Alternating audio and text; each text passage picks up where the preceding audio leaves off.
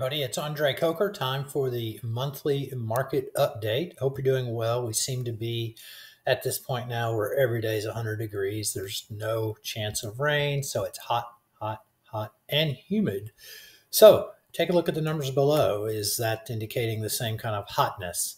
And I guess we could argue that the answer is no. We've seen declines in the average price point in Collin County and Dallas County with uh, Denton County being about the same, a small increase in Tarrant, a small increase.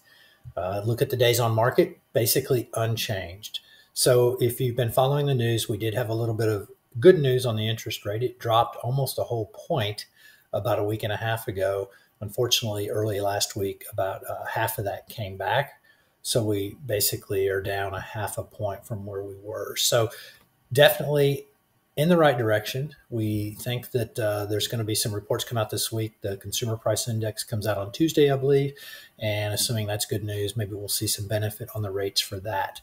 What we are seeing is it appears the buyers have been kind of waiting to see if the rates continue to go down and therefore not really seeing a lot of showings on listings and things like that.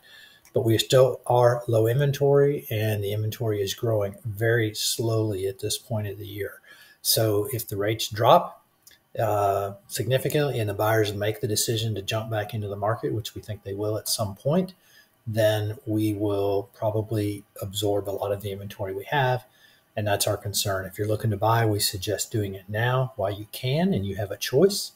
Uh, if you're looking to sell, it's a little more challenging. We are definitely having to figure out the right price and what we can do to get houses sold.